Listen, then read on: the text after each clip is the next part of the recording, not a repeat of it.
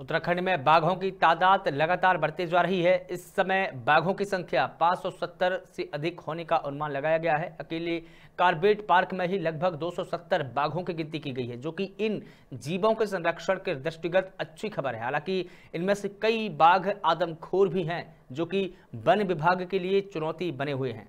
उत्तराखंड के कई क्षेत्रों में रहने वाले लोग इन आदमखोर बाघों को पकड़ने के लिए गुहार लगा रहे हैं।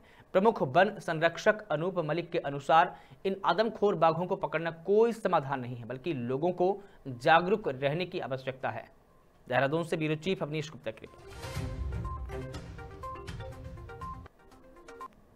इस समस्या को कंट्रोल करने के लिए सबसे ज़्यादा ज़रूरत है लोगों को अवेयर करने की, नंबर एक। नंबर दो, उनका जो हैबिटेट है स्पीशीज स्पेसिफिक उसके संबंध में काम करने की आवश्यकता है। ताकि और कुछ आवश्यक ये है कि जो इस तरह के हॉटस्पॉट्स हैं जहाँ पे ये घटनाएँ ज़्यादा होती हैं, वहाँ पे गाँव में थोड़ी सी लाइटिंग की व्यवस्था कर दी जाए या झाड़ियाँ साफ़ कर दी जाएँ या किनारे में जो है वो गाँव के किनारे गंदगी ना फैलाए वेस्ट डिस्पोजल जो है वो ठीक हो। तो ये तीन चार चीज़ें हैं, लेकिन ये अवेयरनेस से होगी। और लाइटिंग का जो है वो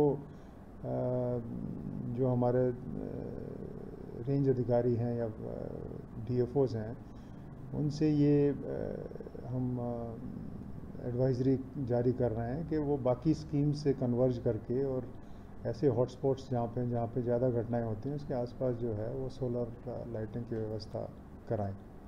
क्योंकि सारे इस धनराशि की व्यवस्था भगवान विभाग की स्कीमों से नहीं हो सकती तो कहीं ना कहीं कन्वर्जन